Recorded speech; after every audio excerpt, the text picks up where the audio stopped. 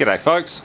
Well we've got a uh, damaged 32 inch uh, Hitachi or Fujitsu Hitachi plasma panel.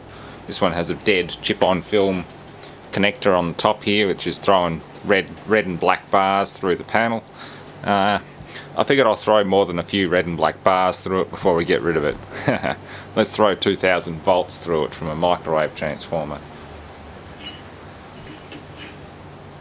There, get some brightness up. Let's torture it a bit. We're at about know, 45 volts line voltage to the transformer, maybe 500 volts at the transformer, AC. These panels are designed for DC. Let's crank it up a little more. Crank it all the way.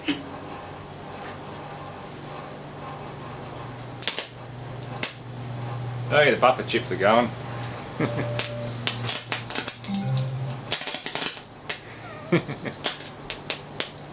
We're experiencing buffer failure.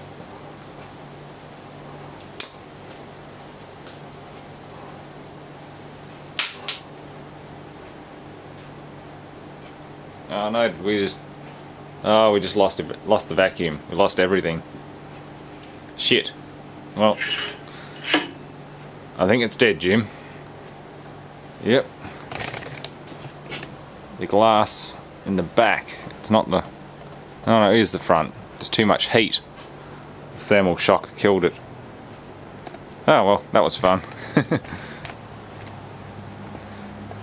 I had the uh, positive side of the, or sorry, the yeah, the output side of the microwave transformer hooked up to the uh, X sustain ribbons and yeah, didn't like it very much. Let's try it with this one down here next. I've got a 42 inch LG plasma panel that's also faulty. So yeah, let's try that one next.